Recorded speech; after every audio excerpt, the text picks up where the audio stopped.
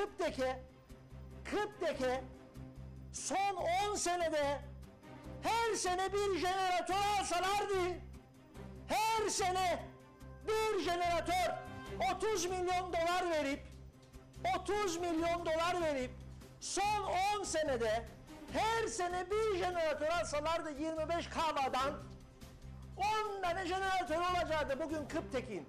Ne Aksa'ya muhtaç olacaktı, ne Rum tarafına muhtaç olacaktı.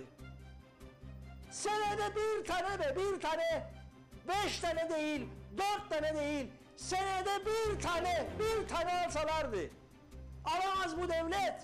Yoktur parası bu devletin. Her şeye parası var da Kıpteke jeneratör almaya parası yoktur.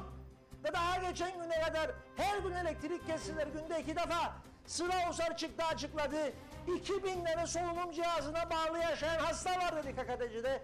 Ölecek ve bu insanlar 45 derece sıcağın içinde yanarık ve burada ve elektrik yok. Bu halde dünyanın en pahalı elektriğini tüketirik ve biz bunun içerisinde. 3 ayda bir zamlanır elektrik be. 3 ayda bir zamlanır elektrik. Senede bir tane santral alsalardı jeneratör. Senede bir tane jeneratör. 10 senede 10 tane jeneratör yapardı be. Da kimseye ihtiyacımız kalmazdı.